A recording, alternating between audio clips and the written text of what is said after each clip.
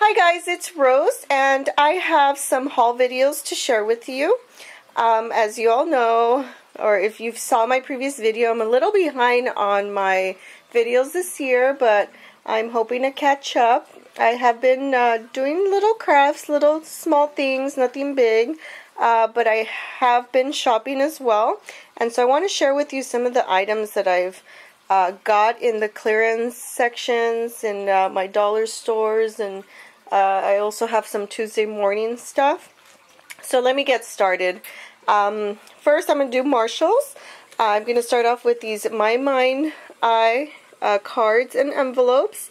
And this has 50 cards. We've all seen these. It's the Avenue Happy. I'm not sure if uh, you guys have seen this particular one. And these are the patterns. It has these stripes and flowers. And I like this one here. This one has arrows and it's perfect for Valentine's. I could do some little Valentine cards with those and these are the other patterns. Very springy, very summery colors. So I thought this one was really cute for um, either like, you know, my niece's uh, birthdays or um, friends, you know, my daughter's friends. So I thought that would be cute to use. And then um, I found this punch around the pages, the holly leaves. I thought this was um, really cute when I saw it in a video. I forget whose video I saw. And I was lucky enough to find this one for $4 on clearance. So, awesome deal. And then I found uh, a few of these, uh, well not a few, this is the only one I got. Uh, this Jolee's Boutique, the stars. And this I got for 70 cents. And then I found this cute little notepad. Uh, it says dream with a tender heart. I thought it was really cute and shabby. Just to write down little notes. And it has these flowers and that postage um, seal. 70 cents, so great deal. And then I found this Martha Stewart Crafts um, tag pad. It has really cute colors, really cute um, images for Christmas next year, of course. I like that. So that one was $1. And then uh, finally at Marshall's I found a few of these uh, paper pads which I thought were awesome. Um, these are the 6 by 6 this 6 um, excuse me this is by Crate Paper and these were a dollar. I don't know if anybody has come across these but my Marshalls had all of these for a dollar. Um, so of course I had to pick them all up. And it has uh, this one is let's see DIY shop and it has these really cute um, images or um, patterns. This is like a newspaper print and then has chevrons and flowers like that wood one and stripes. Really cute papers. Uh, so there was a couple of those. And then um, I found this Studio Calico. Uh, this one is uh, yearbook and it has like school themed images and of course not all of them have school theme you know there's these polka dots and more chevrons and all these other cool patterns. So I thought that one was cool. And then this other Studio Calico uh, this is like a neutral pad um, and this one has you know all these patterns as well. I like that one there. It looks like a bunch of doilies. Really cute paper and then finally this one here, um, Crate Paper Party Day, and it has, you know, cupcakes and numbers and letters and really cute um, patterns as well. So for a dollar, I thought that was an awesome deal. So then, um, of course, I've gone to my dollar stores and I shared with you what I found at the dollar store in my previous video. Well, I also found these Jolee's uh, heart blings. Really cute. I thought I could use them, of course, for Valentine's Day. I thought those were cute. And I also found these uh, Hallmark stickers with these um, lips and hearts and, um, of course, for Valentine's. And then I found these cute little uh, mini vases.